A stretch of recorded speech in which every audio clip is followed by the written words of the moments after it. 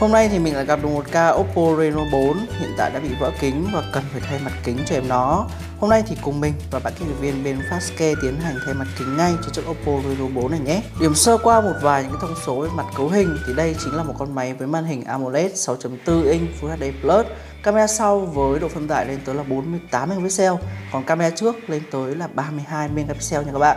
Con chip sẽ là Snapdragon 720G, dung lượng RAM là 8GB cũng như là có cả pin, hỗ trợ pin lên tới là 4015 mAh và hỗ trợ công suất sạc lên tới là 30W. Mình và bạn kỹ thuật viên bên Fastcare sẽ tiến hành bóc hết toàn bộ những linh kiện mình vừa kể trên, sau đó thì sẽ chạm vào cái phần màn hình này.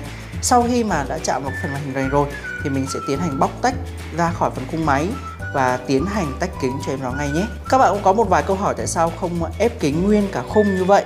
À, thì mình cũng có trả lời rằng là có một vài những trường hợp nha các bạn. Có một số máy sẽ có thể làm được tuy nhiên thì có một số máy sẽ không làm được. Và cũng tùy vào cái tình trạng bị vỡ kính. Nếu mà chúng ta bị vỡ kính quá là nặng thì bên mình sẽ tiến hành bóc hết cái phần màn hình ra.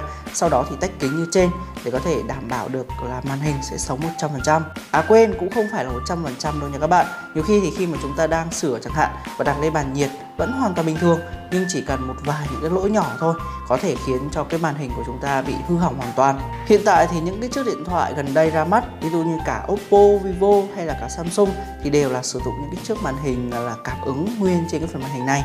Nên chúng ta chỉ cần thay kính thôi. Còn như các bạn có thể thấy được ngày xưa ấy, có những cái dòng iPad hoặc là những cái dòng mà điện thoại cũ ngày xưa chúng ta sẽ thấy được rằng là cảm ứng sẽ kiêm luôn trên kính. Nhưng khi mà các bạn thay kính ấy thì cũng sẽ có ảnh hưởng luôn cả cảm ứng tuy nhiên chúng ta khi mà thay kính như thế này thì sẽ rất là an toàn và cũng như là gần như các bạn thay kính ấy, chỉ là thay cái lớp phủ bảo vệ trên cái phần màn hình thôi. Bây giờ thì bạn kỹ thuật viên đang tiến hành vệ sinh lại cái phần khung viền của chiếc máy và các bạn cũng thông cảm cho mình, những cái dòng điện thoại Android thì thường chúng ta sẽ không có keo nguyên cả khung hay còn gọi là keo ron mà chỉ có những cái dòng ví dụ như iPhone hoặc là những cái dòng flagship đến từ nhà Samsung thôi.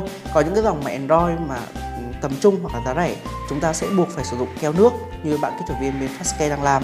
Tuy nhiên thì khi mà nói về chất lượng hay là bảo hành ấy, thì bên mình cũng sẽ hoàn toàn bảo hành cho các bạn lên tới 6 tháng để các bạn có thể yên tâm.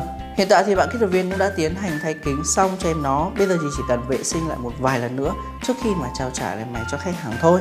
Và thông thường thì những cái con máy này sau khi đã ép kính xong thì ờ, chỉ cần kiểm tra thêm một vài những cái bước như cảm ứng hay là hiển thị nó thôi. Tại vì trước đó thì bên mình cũng đã kiểm tra lại ờ, khi mà nhận máy rồi nên các bạn có thể yên tâm nhé rồi, và nếu các bạn có bất kỳ chiếc máy nào cần sửa chữa thì ghé ngay qua cửa hàng của Fastcare nhé. Còn bây giờ thì tạm biệt và hẹn gặp lại các bạn trong những video sau.